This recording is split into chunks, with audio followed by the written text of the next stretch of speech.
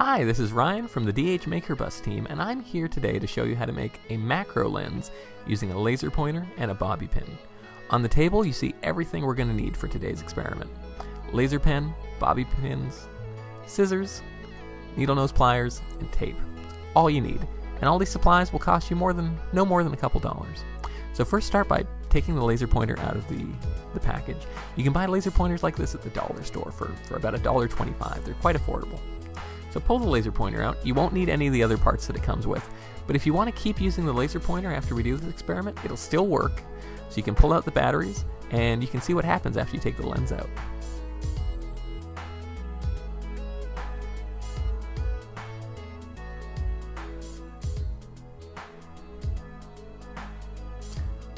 So next we're going to start by unscrewing the cap on the laser pin.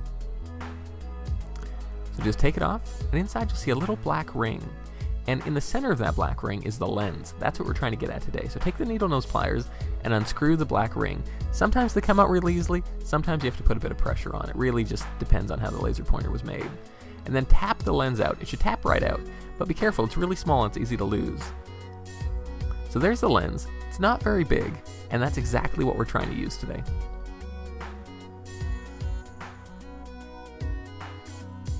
Next, we just want to grab a bobby pin. Again, you can buy these at the dollar store. For a dollar, you'll get hundreds of bobby pins. So you need one bobby pin and the lens. Next, I'm going to put the batteries back in the laser pen and show you what happens after you take the, the lens out of a laser pointer. Because the lens exists to focus the beam and create a, a single point, once you take the lens out, the the beam of the laser is actually quite diffused. It'll still work, but it'll only work for a short distance and make a much bigger dot, as I'm about to demonstrate. See? And the closer you get, the tighter the beam will be. The further away, the more diffused. It's a lot of fun. You can kind of use it like a red flashlight in, in the dark. So next we're going to grab our smartphone. Now I'm using my smartphone, but this will work on any phone with a camera. Flip phone, smartphone, tablet, doesn't matter. All that matters is that the, the lens on your camera is about the same size as the lens in the laser pointer. So there's the lens. So next we're going to want to sandwich the lens in between the arms of the bobby pin. Like so. The bobby pin creates a nice little platform to hold the, the lens in place. This also makes it easy to remove uh, once you're done using it with your phone. Next we're going to want to put the lens right over the camera. Now, you see the little white circle beneath where I put the bobby pin? That's the flash. Sometimes it's easy to get those two things mixed up, so you want to put it over the lens on your camera. Next, thing, I'm going to tape it right down to hold it in place. Any kind of tape will work, really. And now we're good to go. So we've created a very powerful macro lens that increases the focal point on our camera about 136 times.